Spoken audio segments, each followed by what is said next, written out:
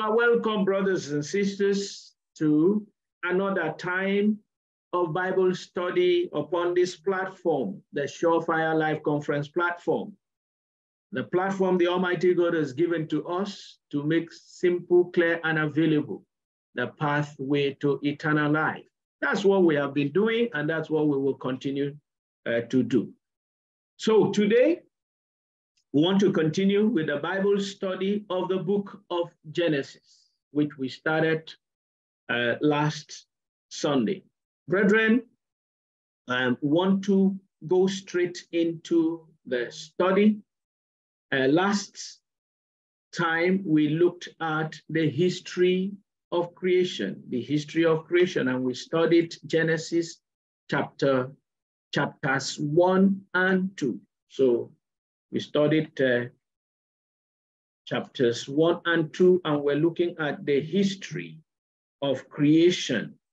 Uh, that's heaven and earth, or the heavens and the earth, and all that are in them. Uh, you would have noticed that the Bible uses the plural heavens.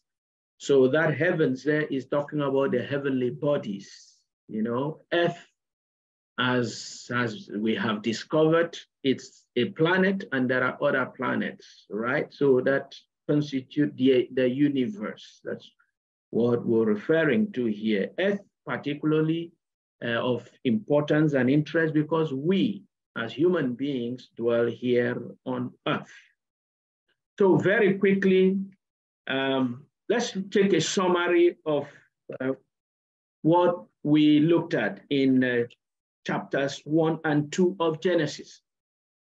Point number one, we have established the truth that God created the heavens and the earth. Point number two, that God created humankind in his own image and blessed humankind. Point number three, that everything God created was very good in the beginning. Point number four, that God gave humankind a responsibility to tend and keep the earth, not to destroy it the way humankind has destroyed the earth. Today, global warming is a concern for all humankind. Today, wars, oppression, poverty, all manner of evil, killings, destructions are concerned for humankind. God didn't intend it to be so. Um, and a question was raised How did we get here? and I said, Wow, you want to see how we got here? The reality is living with us every day. And we will look at it.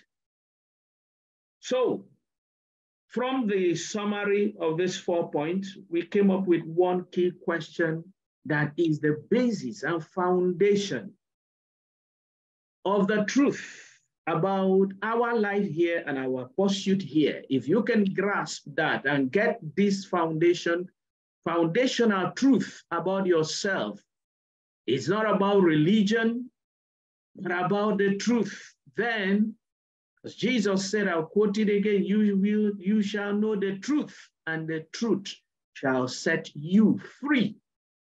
So this is about you, this is about me, this is about us gaining our true freedom to relate with God, our creator, and live our purpose here on earth till the fulfillment of our own time. So what was that question or what is that fundamental question? The question we looked at is what does image of God mean? God created us in his image and blessed us, as we have said in point number two of the summary. And we said, what does this mean?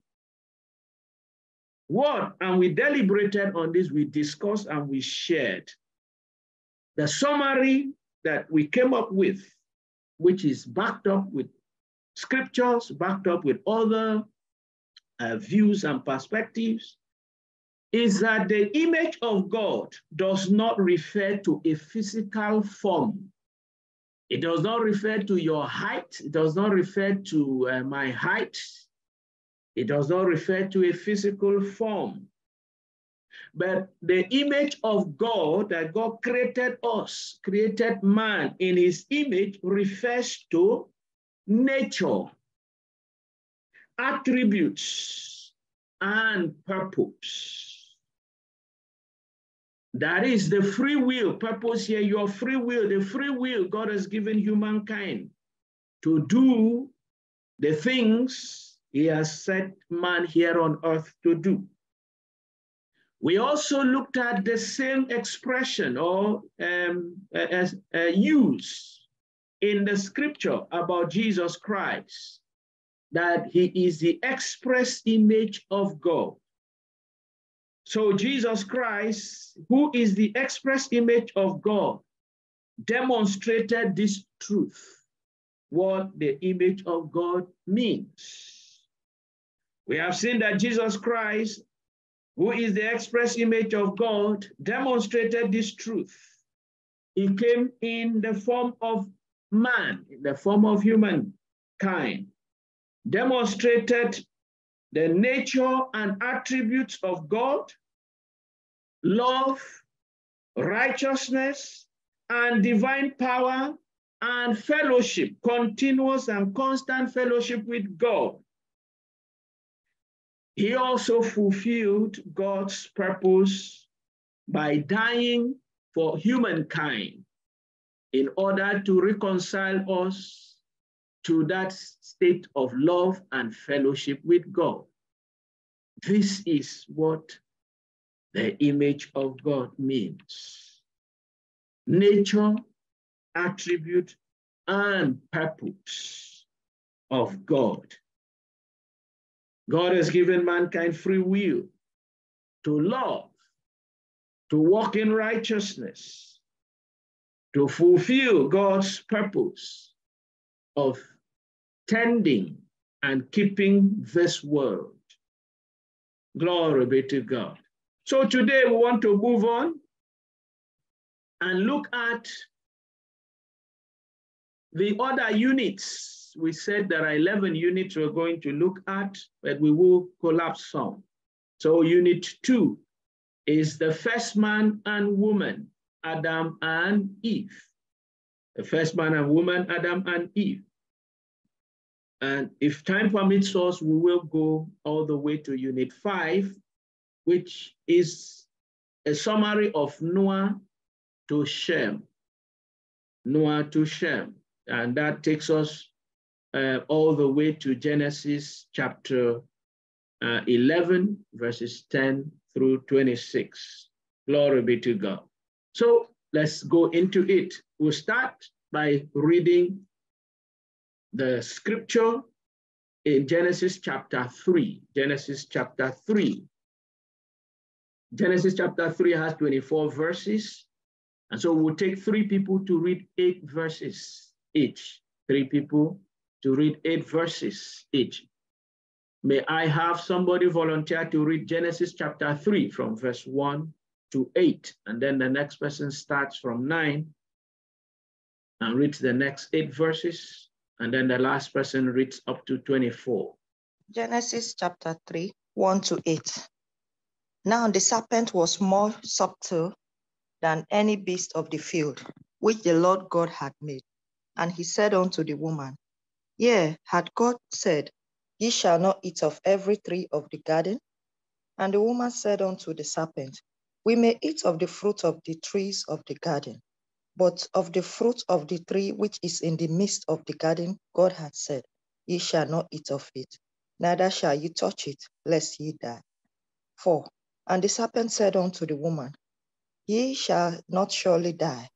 For God doth know that in the day ye eat thereof, then your eyes shall be opened, and ye shall be as gods, knowing good and evil. Mm. And even and when the woman saw that the tree was good for food, and that it was pleasant to the eyes, and a tree to be desired, to make one wise. She took of the fruit thereof and did eat, and gave also unto her husband with her, and he did eat. Seven. And the eyes of them both were opened, and they knew that they were naked, And they sewed fig leaves together and made themselves aprons. 8. And they heard the voice of the Lord God walking in the garden in the cool of the day, and Adam and his wife hid themselves for, from the presence of the Lord God amongst the trees of the garden. Thank you very much. The next person, please read from 9 to 16. But the Lord God called to the man, Where are you? He answered, I heard you in the garden, and I was afraid because I was naked, so I hid. And he said, Who told you that you were naked? Have you eaten from the tree that I commanded you not to eat from? The man said, The woman you put here with me, she gave me some fruit from the tree, and I ate it. Then the Lord God said to the woman, What is this you have done? The woman said, The serpent deceived me, and I ate. So the Lord God said to the serpent, Because you have done this, cursed are you above all livestock and all wild animals. You will crawl on your belly, and you will eat dust all the days of your life and I will put enmity, and I will put enmity between you and the woman, and between your offspring and hers. He will crush your head, and you will strike his heel. To the woman he said, I will make your pains in childbearing very severe. With painful labor, you will give birth to children. Your desire will be for your husband, and he will rule over you. Thank you very much. The last reader, 17 to the end, 17 to 24. Genesis chapter 3, from verse 17 to 24, please. Genesis 3, 17 to 24. Then to Adam he said, Because you have heeded the voice of your wife, and have eaten from the tree of which I commanded you, saying, You shall not eat of it. Cursed is the ground for your sake. In toil you shall eat of it, and of all the days of your life. Both thorns and thistles it shall bring forth for you, and you shall eat the herb of the field. In the sweat of your face you shall eat bread, till you return to the ground, for out of it you were taken. For the dust you are, and to the dust you shall return. And Adam called his wife's name Eve, because she was the mother of all living. Also for Adam and his wife, the Lord God made tunics of skin and clothed them. Then the Lord God said, Behold, the man has become like one of us, to know good and evil. And now, lest he put out his hand and take out of the tree of life and eat and live forever. Therefore, the Lord God sent him out of the Garden of Eden to till the ground for which he was taken. Verse 24. So he drove out the man and he placed cherubim at the east of the Garden of Eden, and a flaming sword which turned every way to guard the tree, to guard the way to the tree of life. Amen. Glory be to God. Glory be to God. A number of things to summarize here that would help us resolve some things that sometimes create confusion.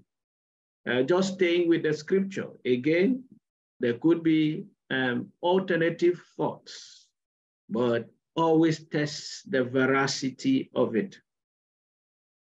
So if we start from the last verse here, we see here that the Bible says God placed cherubim at the east of the Garden of Eden and a flaming sword.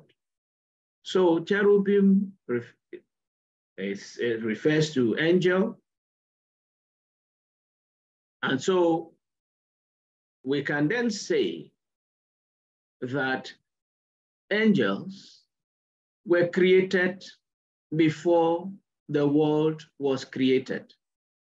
And as I made the distinction before, that the heavens that is mentioned in the Bible here is not the heaven, the dwelling place of God. It's talking about heavens, what we call the heavenly bodies. So you would see it there, no, very clear, plural, heavens, and in small, heavens, letter. So angels already existed before the creation of the world.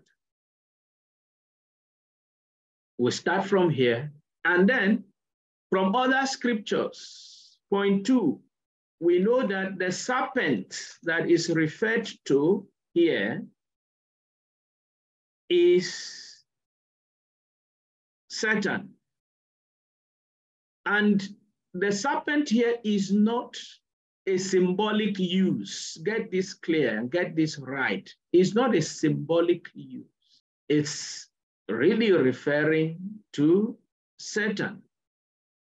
But you say, okay, um, what? Let's get that clear.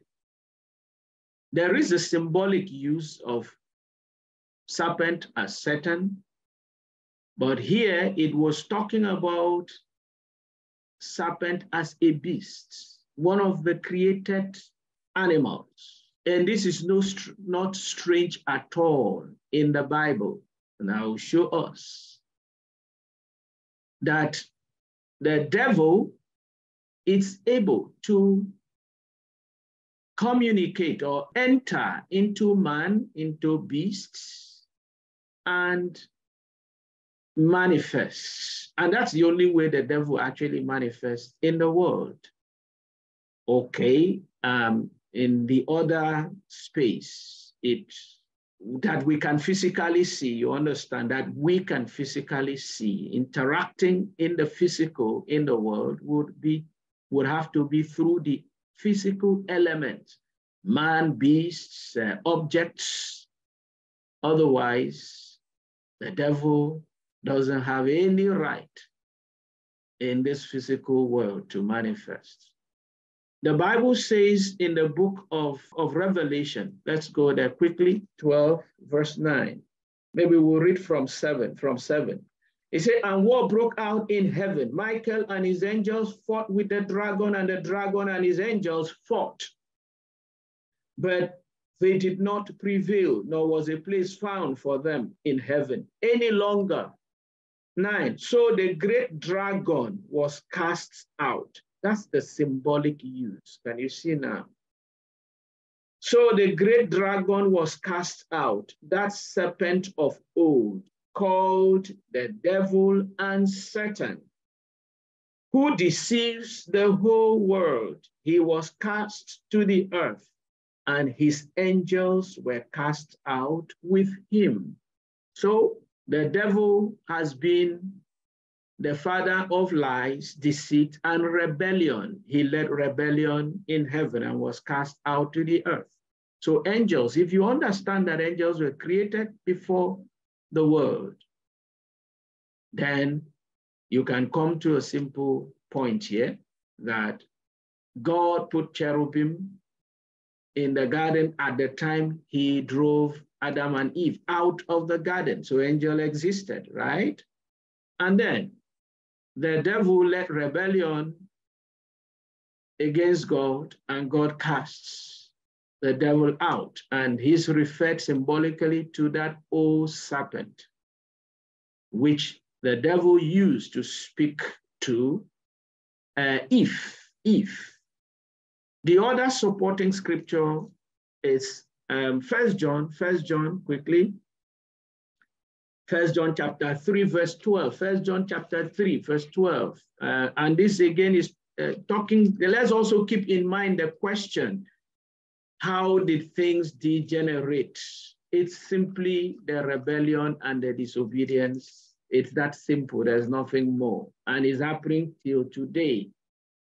As people choose to rebel against God, we are seeing it in families, families that were doing well, living in unity, growing up, father and mother in love, little children grew up happily and all that as they grow and begin to rebel in different ways, the family union, the family peace scatters.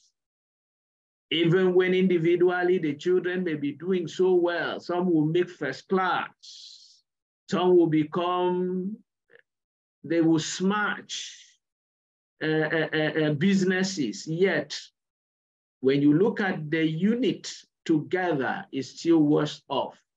than how they started. It's the same thing in the world. I've always told people, I say, you see, the more the world advances, the worse the world gets as an integrated unit. As an individual, yes, you may get better, but how do you fit? Um, my country now, it's uh, a concern about security and all that. Yet, this is a country where uh, the area I come from, I used to arrive uh, and will wait till 12 midnight when my mother was alive before I will go from our state capital and drive to my community to see my mother. I could stay sometimes till very early hours of the morning, cross at 2 a.m., 3 a.m., and then I will start driving back to the state capital, uh, almost an hour drive in the night, alone, unconcerned about anything. You dare not attempt that today, mm, anywhere around the country. So we advance as human beings, but rebellion continues. Let's look at it. Was First John chapter 3 we came to look at. First John chapter 3, verse 12. First John chapter 3, verse 12. If we start reading from verse 11, it says, For this is the message that you, that you heard from the beginning, that we should love one another. Talking about again the attribute of God. Not as Cain. Did you see that? Not as Cain who was of the wicked one and murdered his brother. And why did he murder him? Because his works were evil and his brothers righteous. So,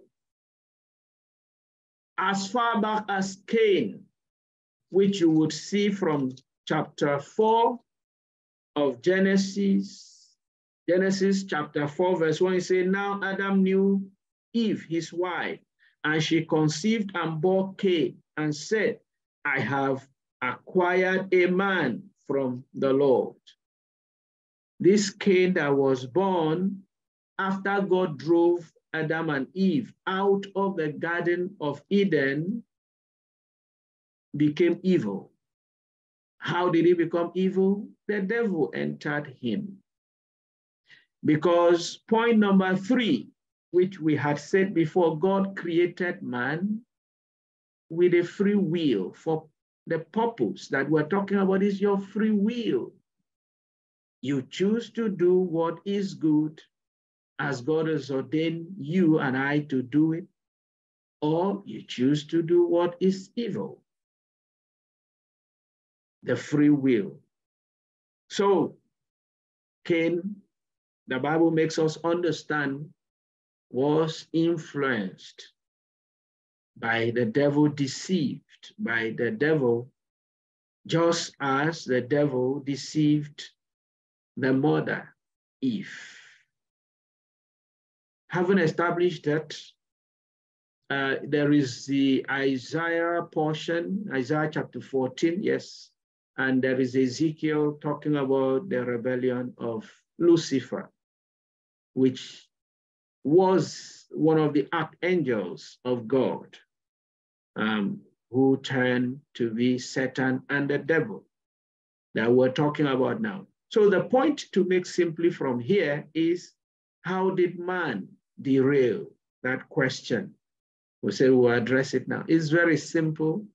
The devil who led rebellion against God came into the world and continued in his rebellion because God casts the devil out of his presence.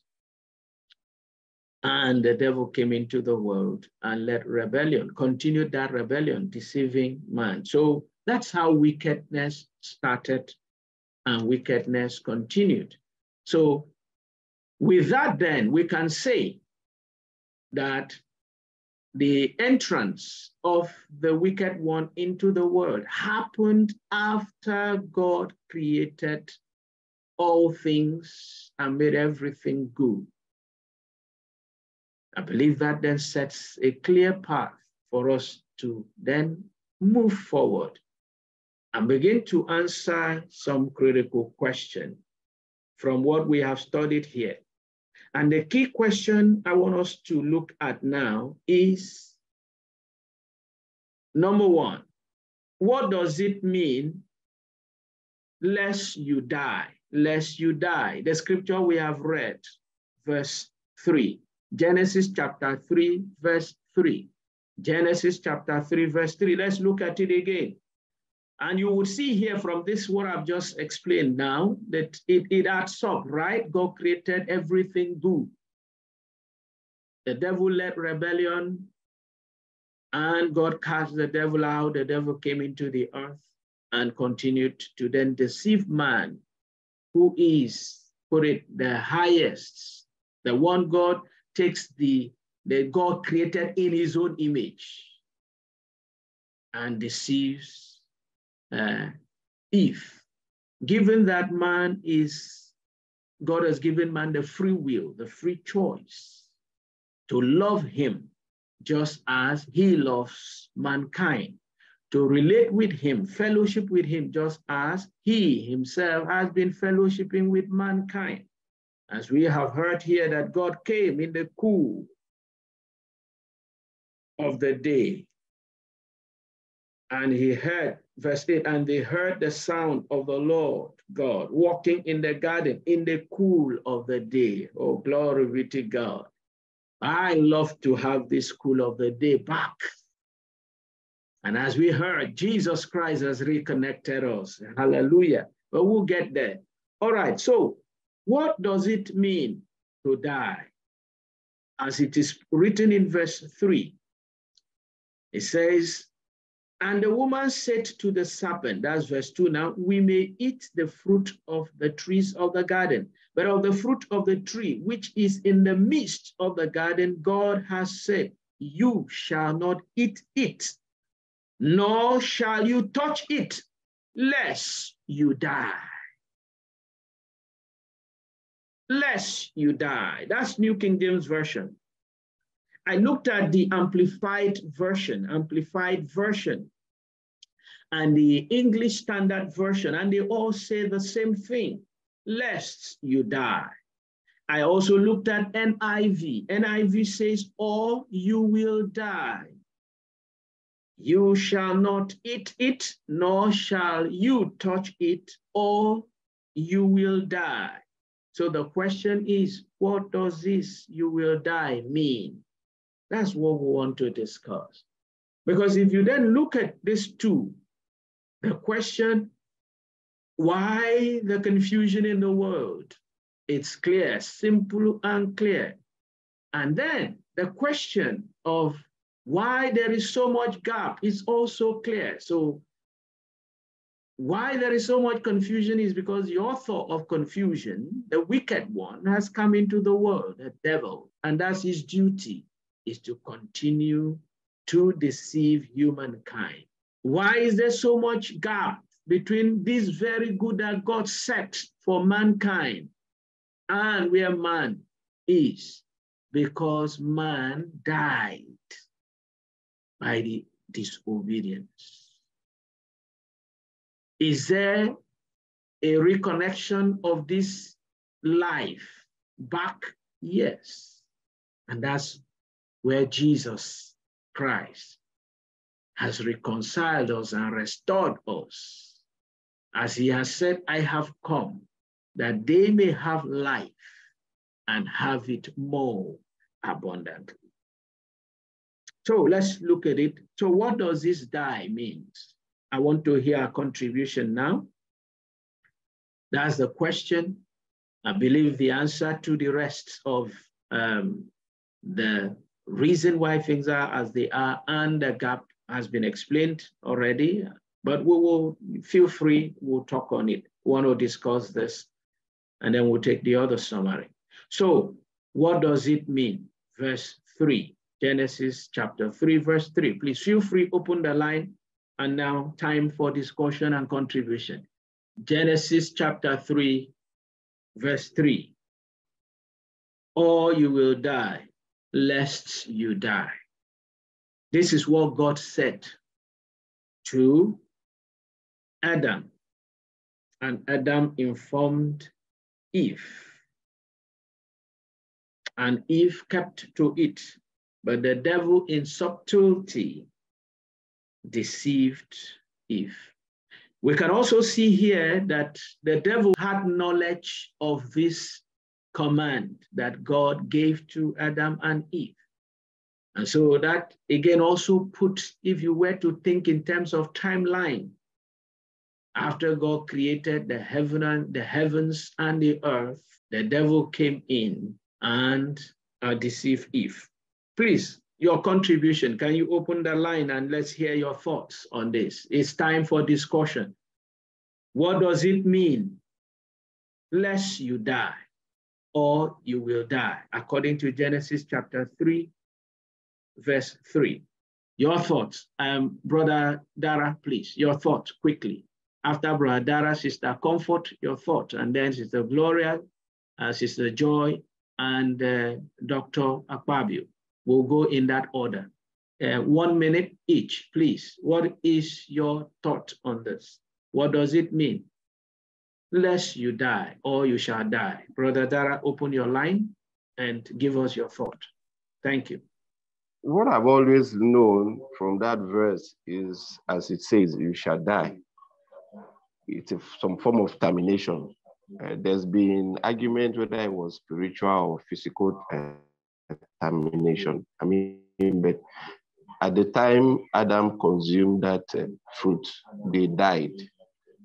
They experienced some form of uh, death, albeit spiritual.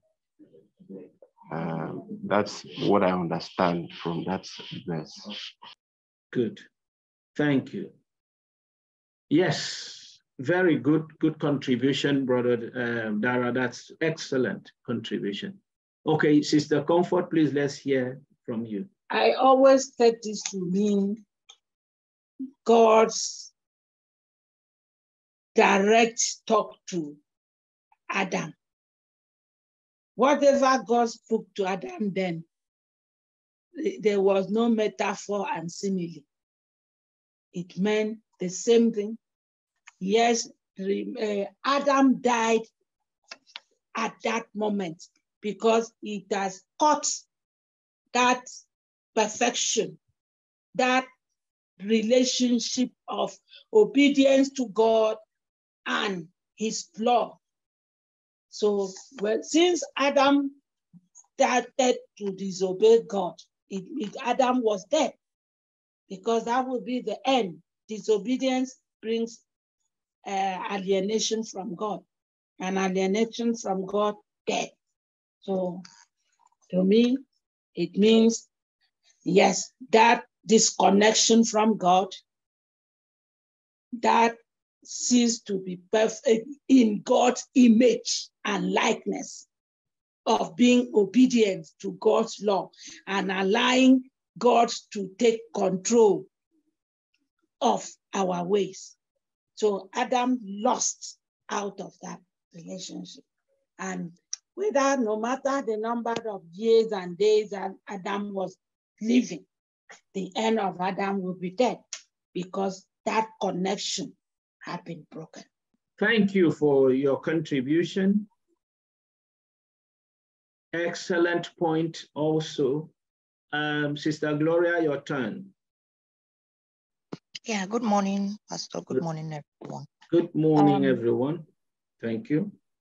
I think it's the same thing I get from it, what this uh, Brother and Auntie Comfort have spoken about the death there is, I mean, the, the, that verse said when you touch it or eat it. So even mere plucking it, touch it. I mean, she had to touch it to pluck it before even eating it.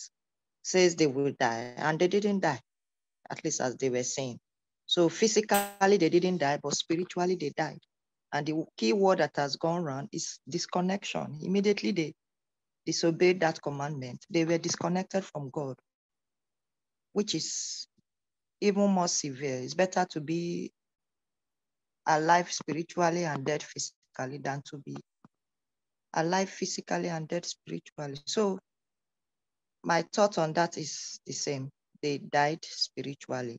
I mean, when God came in the cool of the day, as usual. They were not looking forward to it. In fact, when they heard his voice, they hid themselves. They were afraid. And that's what sin does. The Bible says fear has torments, but perfect love casts out all fear. So they died spiritually. Excellent. Ah, I'm enjoying this contributions. Sister Joy, please, your contribution. My thoughts are the same as what everyone else has shared, so nothing different. Um, clearly, from the scripture, they didn't die physically when they ate the fruit, so it must have been spiritually. Thank you. Thank you. We have a veteran doctor in the house. Please give us all perspective now, both uh, scientific and uh, scripture. Oh, Dr. Akpabio, please. Uh, I wonder whether I'm so much uh, knowledgeable to, to give out perspective. But I, I, I would think that um, my understanding of if you eat the fruit, you will die suggests that there were there was a special relationship between God and and the and, and our first uh, create I mean creators on earth. I mean the Adam and Eve. Uh, the fact is that there was that special privilege. So if they disobeyed God, there was going to be a consequences for that, so that they would not be given that privilege.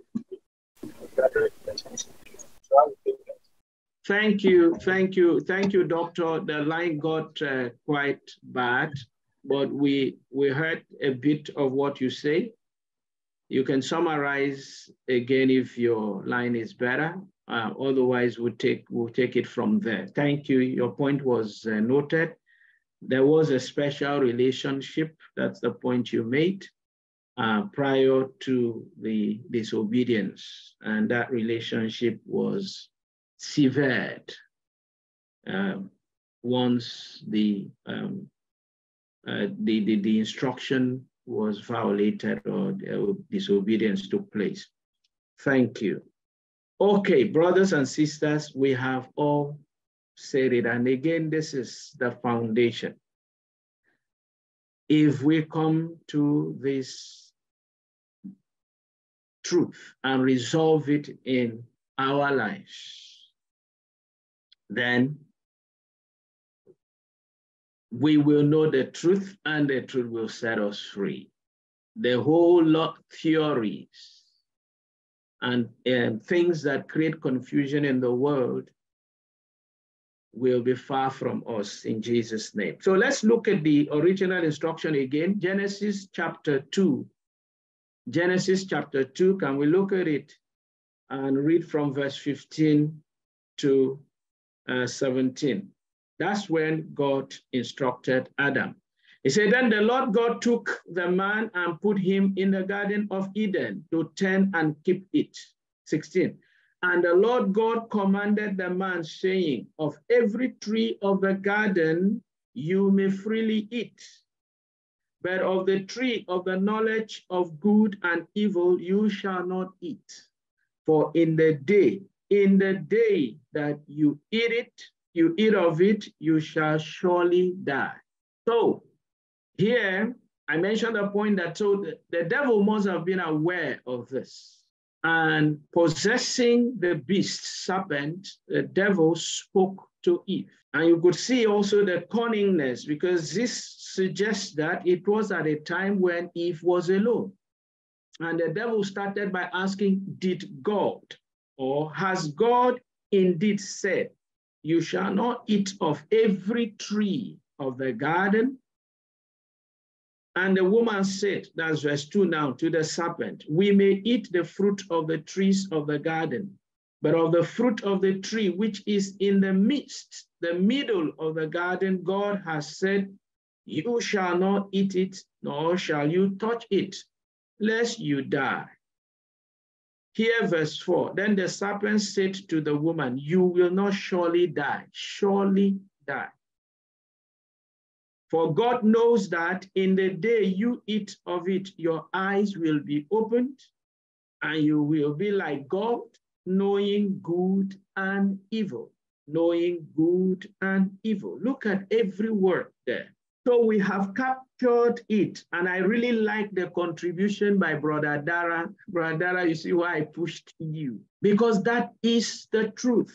So this death, and as Sister Comfort emphasized, there is no second interpretation. It is death, as we have seen it all through. God said you will die. The day you eat of it, you will die. This death, number one, implies, as we have all said, disconnection from God. It means separation. It means losing the image of God that we have talked about before. And finally, it means physically dying. So it is both the disconnection in terms of fellowship that man had with God, the first man, and physical death. How do we know that?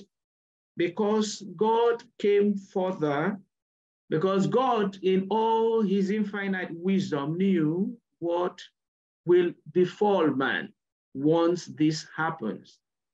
So we've seen here that in uh, as we continue in verse 19, which Sister Comfort was talking about, Genesis chapter 3, verse 19, the Bible says that God said to man, For dust you are, and to dust you shall return. For dust you are, and dust you shall return. Glory be to God. And so, and you also, we also see here that God put cherubim to protect the garden. And why did he do that? Look at verse 22. He said, Then the Lord said, Behold, the man has become like one of us, which is what the devil said. Remember? To know good and evil. So God created man to know good and do good, but gave him free will. The devil who came with evil now polluted man to do evil. The same rebellion he, the devil, started in heaven, he brought to the earth. And so, by that pollution, by that rebellion, a man took that fruit of the uh, uh, tree in the middle of the garden and ate and acquired the knowledge of good, of good and evil, or acquired evil in addition to the good that God put in him, the nature of God, the good. He acquired the nature of evil along. So God said, now read that second part. He said, and now lest he put out his hand and take also of the tree of life and eat and live forever in this state. Therefore, the Lord God sent him out of the Garden of Eden to till the ground from which he was taken. That's the genesis of evil.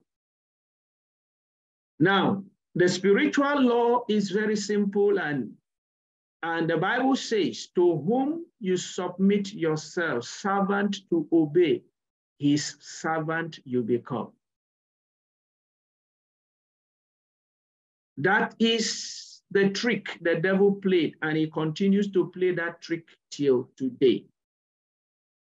The devil cannot operate in this world in any other way than to make man submit to him. To deceive you and I to follow his ways, to leave God and follow him. And when we submit to him, he becomes Lord over us. But when we reject him and accept God, God remains God over our lives. Praise the name of the Lord. So, what is the re remedy to this death? What is the remedy to this death? Now that we have seen. God has sent his son Jesus Christ to reconcile us to God. So the separation, the spiritual separation, the image of God is restored to mankind through Jesus Christ. But the death, the physical death that has come into the world, remains with man until the resurrection. And the Bible says this very clearly and says that the last enemy that will be destroyed is death. God has left that judgment on humankind of physical death to remain till the resurrection. With that in mind, then, we can see if you then go to chapter 4 and continue and go to chapter 5, you will see the perpetration of evil. Like we read, the first perpetration of evil came through Cain, killing his brother Abel. Chapter 4, if we read from verse 9, it says, Then the Lord said to Cain, Where is Abel your brother? He said, I do not know. Am I my brother's keeper? Hey, Cain, are you your brother's keeper? Wasn't that what God meant from the beginning? See what we're talking about? Looking at the family unit, how God intended it to be, because that's the basis of how the world, God's purpose in the world, is meant to be fulfilled. Cain said, Am I my brother's keeper? Yea, Cain, you were supposed to be your brother's keeper. I am supposed to be my brother's keeper. You are supposed to be your sister's keeper. That's how God meant it to be. But the devil has come into the world and sowed the seed of rebellion, the seed of selfishness, and all forms of evil and evil continued to grow in the world. Verse 10, and he said, What have you done? God now Cain, What have you done? He says, The voice of your brother's blood cries out to me from the ground. So now you are cursed from the earth, which has opened its mouth to receive your brother's blood from your hand. Are you surprised what is going on in the world? The blood of the innocent men and women, children that have been killed by the wickedness of the devil continues to cry out. Let's move on. We're talking about so evil continued to be perpetrated in the world till we come to a man called Noah, which if you look at the genealogy, in chapter 5, you come to verse 30. You say in verse 30, after he begot Noah, Lamech lived 595 years and had sons and daughters. So all the days of Lamech were 777 years, and he died. 32, I'm reading chapter 5, verse 32 now. And Noah was 500 years old, and Noah begot Shem. Remember, told us we get to Shem, Ham, and Japheth. Shem, the son of Noah. Now, verse 6, chapter 6, now it came to pass when men began to multiply on the face of the earth, and their daughters were born to them, that the sons of God saw the daughters of men that they were beautiful, and they took wives for themselves of all whom they choose. And the Lord said, My spirit shall not strive with man forever. For he is indeed flesh, yet his days shall be 120 years. For there were giants on the earth in those days, and also afterward, when the sons of God came into the daughters of men, and they bore children to them. Those were the mighty men who were of old, men of renown, Five, then the Lord saw that the wickedness of man was great in the earth, and that every intent of the thoughts of his heart was only evil continually. And the Lord was sorry that he had made man on the earth, and he was grieved in his heart.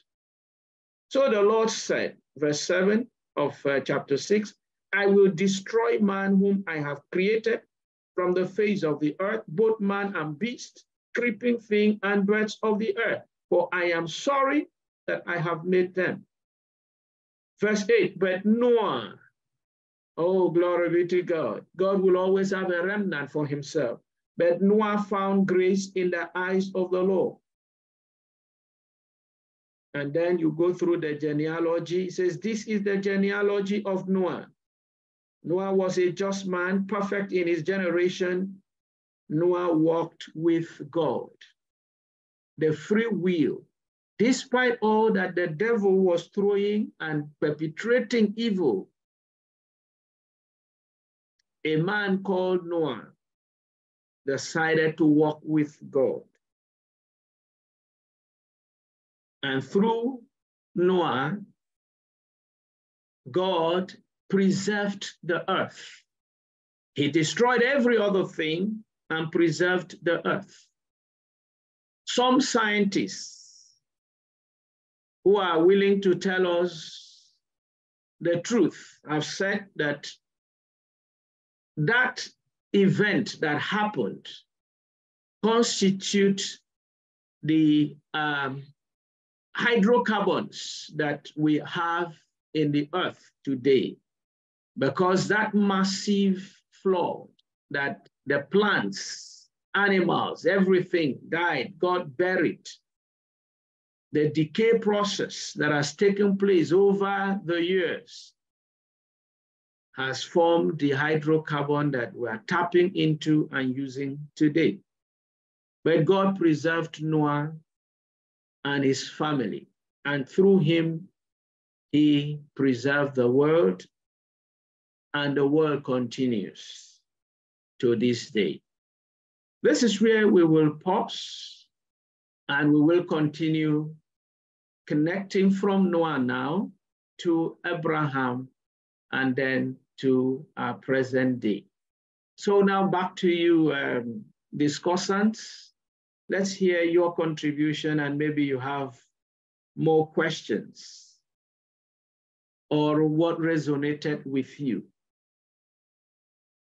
before we again summarize and conclude and pray. Because I really want us to pray today with this understanding, the same subtleness of the devil goes on in the world today. Do you have something to add to what we have shared? Yes, Sister Comfort, please go ahead. Uh, thank you, Pastor. I don't have much to say, but the word you are using now, subtle way of the devil to turn things around. In fact, I was so amazed to see what the devil did. If you look at that Genesis chapter uh, 3, verse 2, is it verse 1? The devil said, turn what God said. He said, the snakes, the snake was more clever than any of the wild animal the Lord God had made. The snake said to the woman, this is the snake said to the woman, Did God really say you must not eat from any tree in the garden? Mm-hmm. He turns it around. God started by saying in, in that, uh, is it 15 or 16? The Lord God gave the man command. He said, You may eat fruit from any tree. So that is, God said this, but Satan started it a negative way. So eh, when I found this, I think, I, my God, please, however subtle the devil may speak, let us know. He started from the negative, but God said it positively. Eat everything except this. The devil, must you not eat anything? So we should know the subtle deceit from him so that we may reply like Jesus. Then he went to Jesus. Uh, he have said, "You must." When you fall down, the angel said, "Get away from me." That wasn't the purpose of that text. So we must know the purpose, the reason for this question so that we, we should know the answer. Does it merit our even listening to it? No, answering it. So I think that was what I, I took out from that scripture. Thank you so much for the time. Thank what you. Happens? Thank you. Indeed, just to write on that before the next person, you know, I told us uh, the law of uh, uh, uh, uh of subserviency. I've told us that there's so, the law of subserviency. To whom you yield yourself servant to obey his servant you become. Romans chapter 6. Romans chapter 6, we can start reading from verse 14, but it's verse 16 I'm looking for. He said, For sin shall not have dominion over you, for you are not under law, but under grace. 15. What then? Shall we sin because we are not under law, but under grace? Certainly not. 16. Do you not know that to whom you present yourselves slaves to obey, you are that one's slaves whom you obey, whether of sin leading to death or of obedience leading to righteousness. So this is the law that the devil operates, subtleness. And then I also told us about the devil possessing, uh, using the created things that have rights in this physical world to manifest himself. And the key one is this speaking. Oh, we call it evil tongue. And that's what we're going to pray today, evil tongue. That's what, that no wonder the Bible says in the book of Isaiah, every tongue that rises against us in judgment, we shall condemn. Isaiah chapter 54, go and read it with me, verse 17. It says, No weapon formed against you shall prosper, and every tongue which rises against you in judgment, you shall condemn. Beloved, I have seen these tongues. You would see a tongue just wild around, speak and create division, create disunity, is all tongue, tongue, the devil's tongue. That is what the devil uses. He will just create one suspicion now between husband and wife from their fire. He will just create one doubt in your heart, in your thought about God. From there, your faith is quenched. Evil tongue. I have seen this cause major problem in a group. Group that is working together, doing things. Evil tongue. This is the weapon of the devil, and we must never submit ourselves to it. Thank you, Sister Comfort, for buttressing that point again. We've gone all the way to chapter six in summary form.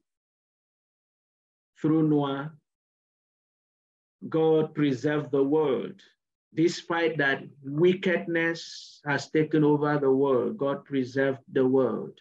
And we will see again because the wicked one was still around. Despite that, God did all that. Noah and his children came out. That righteous man, evil again got sown into the world. And God, the God of new beginning. See, that's why I'm teaching all the principle of the God of new beginning.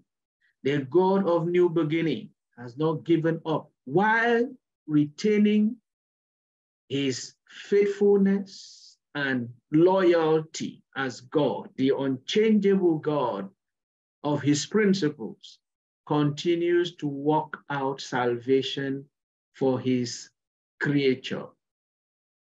The man, the humankind whom he created in his own image, to bring man back to himself. And that will be the next point we'll be looking at, talking about um, uh, Terah, Abraham, and then connecting that to Jesus Christ. Oh, and there couldn't be a better time to look at that than the next Sunday, 25th, because we're going to link that with the birth of our Lord and Savior Jesus Christ. Glory be to God. So let's summarize and close if there is no other contribution.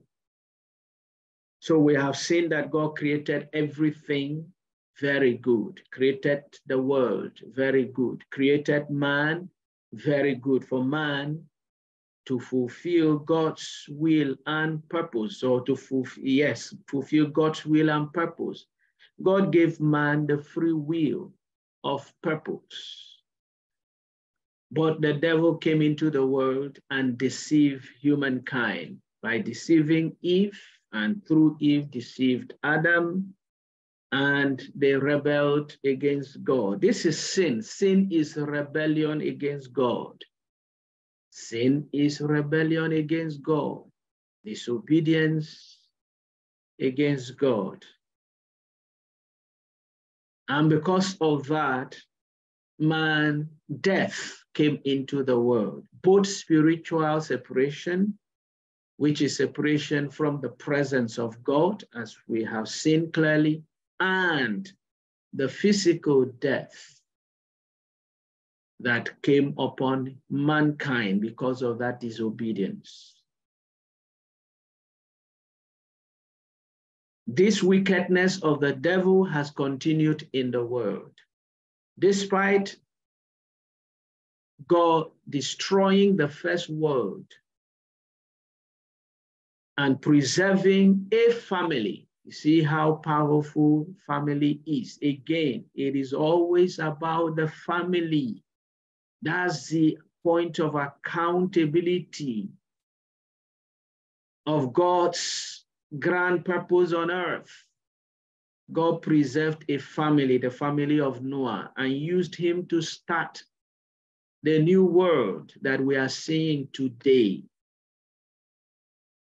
because the whole world was destroyed by water, the whole earth, rather, destroyed by water, flood.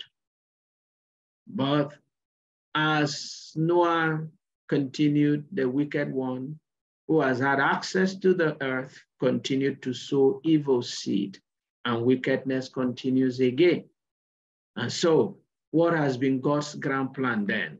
to the God of new beginning to bring mankind to this state, that desired state of love and fellowship with him. For man to exercise the free will of fulfilling God's purpose, living in love and doing the assignment God gave man to do here on earth, to tend and keep the earth. That's what we're going to be looking at.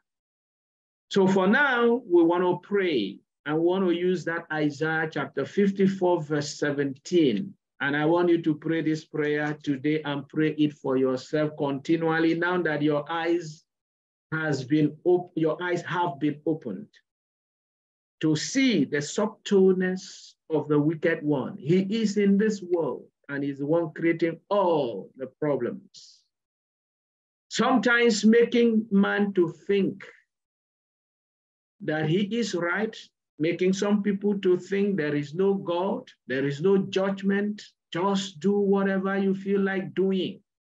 Create war, create problems. Sometimes we'll even confuse some of us pastors to also teach the wrong things and Jesus has warned against that.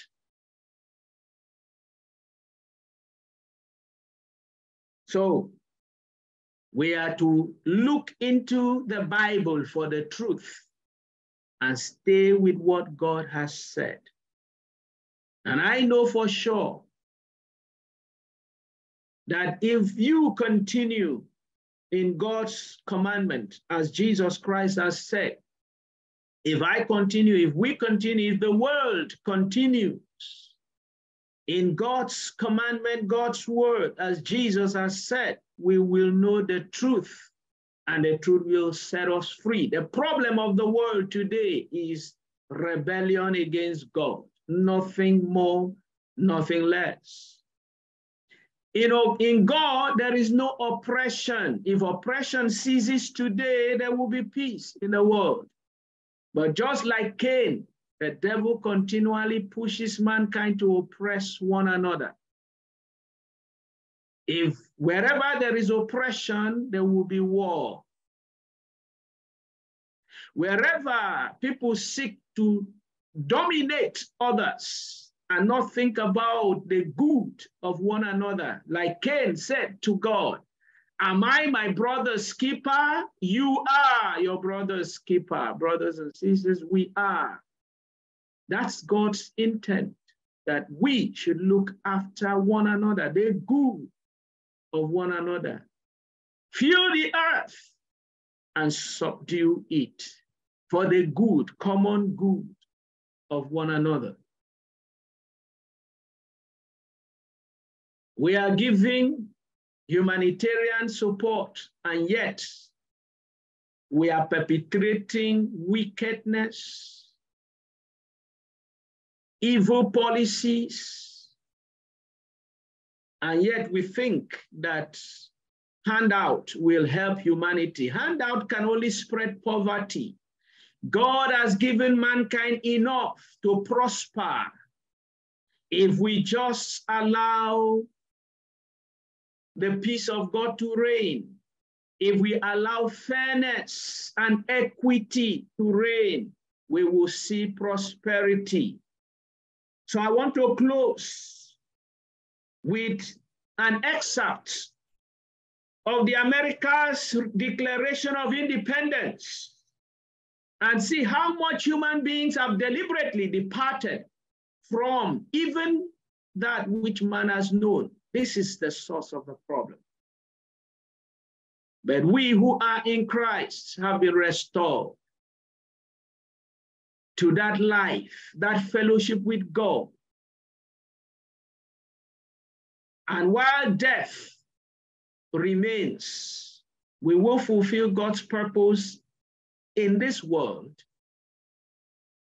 and in the resurrection of the death death will be destroyed forever and we will live eternally with God and his son Jesus Christ forever. Declaration of Independence, just a few lines. It says, we hold these truths to be self-evident that all men are created equal, that they are endowed by their creator with certain unalienable rights, that among these are life, liberty, and the pursuit of happiness. That to secure these rights, governments are instituted among men, deriving their just powers from the consent of the governed. Is this what the government are practicing today? Is this what human beings are practicing today? Isn't this very tenet what some governments are standing against? Let us pray. Let's pray together. Pray with me. And if you have not given your life to Jesus Christ, now that you have understood, this world will only continue to get worse because the evil one will continue to perpetrate the wickedness in the heart of those who submit to him. And it will continue to be the evil tongue that speaks guile, that deceives. This is how evil multiplies. So if you have not given your life to Jesus Christ, the Son of God, whom God has sent to reconcile mankind to himself and restore us to fellowship with him, to the uh, nature that God gave to man at the beginning in his image that we talked about. Please, this is the time and you pray with me now and say, Heavenly Father, I repent of my sins and I give my life to you. And I ask, forgive me my sins. And I believe in you and in your son, Jesus Christ, who died for me. And I ask, wash me, cleanse me with the blood of Jesus. Forgive me all my sins. And now, Lord, reconcile me to yourself. Give me your Holy Spirit, the Spirit of truth, to teach me, to guide me, to keep me, to fulfill your will and your purpose for my life. In Jesus' mighty name. Amen. Now, join us. Let us pray according to Isaiah chapter 54, verse 17. No weapon formed against you, formed against me, shall prosper. In Jesus' name, say amen. And every tongue which rises against you, rises against me, rises against us in judgment, you, I, we shall condemn. This is the heritage of the servants of the Lord, and their righteousness is from me, says the Lord. Raise your voice with me to heaven and say, Heavenly Father, in the mighty name of Jesus, I pray now, oh God, let every evil tongue of the devil, every evil tongue of the devil that is speaking through man, through woman, through anything against me, let that evil tongue burn by your fire. Let your fire burn every evil tongue that is speaking against me, speaking evil, speaking guile, deceit against me. Every evil tongue that is speaking evil against me, burn by fire, burn by fire. Go ahead and pray that prayer. Evil tongue speaking evil against me. All your lies, the lies of the devil that is causing problem in my life, causing problem, in my family, causing problem, in my society, every evil tongue burned by fire. In the name of Jesus, it is written, every tongue that speaks against me, I shall condemn. Every tongue which rises against me, every tongue which rises against me, I shall condemn. I condemn every evil tongue. We condemn every evil tongue that speaks against us in the day, that speaks against us in the night, that speaks against us in the spiritual realm, that speaks against us in the physical realm, that speaks against our families, that speaks against our brothers and sisters, that speaks against God's plan and God's will for our lives and in our society, in our nation. We command you, evil tongue, burn by fire. Almighty God, let your fire burn, consume every evil tongue that is speaking against your will in our lives, in our families, in our nations, in the mighty name of Jesus Christ. Go ahead and pray that prayer for yourself. Appropriate that prayer for yourself and learn to pray this prayer. And I, I pray the Holy Spirit will teach you this prayer more. Now that your eyes are open to see where problems have been coming from. Evil tongue of the devil, instigated by the devil, instigated by the devil, perish in the name of Jesus, in the name of Jesus, in the name of Jesus. I was talking about the devil possessing the serpent and speaking through the serpent. In the Bible, you remember when Jesus cast out the, the, the, the legion, the legion said, Let me enter into the swine. And they went into the swine. So the serpent has demo, the devil has demonstrated he could possess beasts, human, and objects, use objects. Raise your voice to heaven and pray.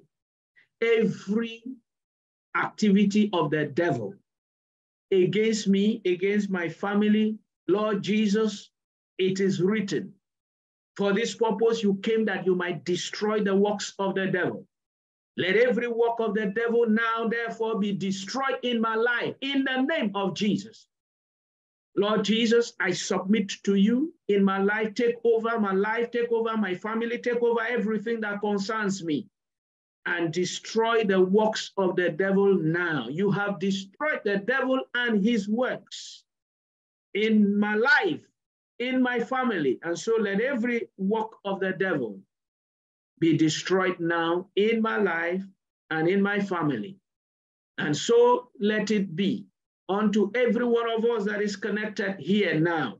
Every work of the devil be destroyed in the name of Jesus Christ. Amen. Finally, now let's praise the Heavenly Father. Oh, let your will be done in my life.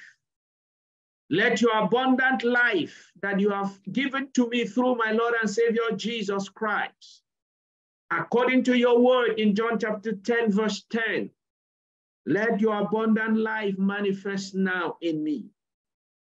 Renew your spirit in me and quicken me even now by your Holy Spirit. Oh, you have kept for me in this year 2022 and for the rest of my life. Let me fulfill all your will. John chapter 10, verse 10 says, The thief does not come except to steal and to kill and to destroy. I have come that they may have life and that they may have it more abundantly. So, Heavenly Father, we pray and agree that in Christ Jesus, whatever the thief, which is the devil, has stolen, let it be restored unto us now in the name of Jesus. Whatever the devil, the thief, has killed, oh, by the power, the resurrection power in Christ Jesus, let it be resurrected unto us in the mighty name of Jesus. Heavenly Father, whatever the devil, the thief has destroyed, we ask in the name of Jesus Christ, our substitute, the one whose name is above all names. And whatever we ask in his name, we receive it Father, we ask that let whatever has been destroyed be replaced now in the name of Jesus. Whatever has been damaged be repaired now. Whether it be the body that is sick, disease, let it be repaired. Let it be renewed. Let it be healed. Whatever has been damaged be repaired be renewed in the name of Jesus Christ. Father God, let your abundant life and your eternal life through our Lord and Savior Jesus Christ manifest in us now and lead us throughout our lives here on earth to fulfill your perfect will for our lives. In Jesus' mighty name we have prayed. Amen.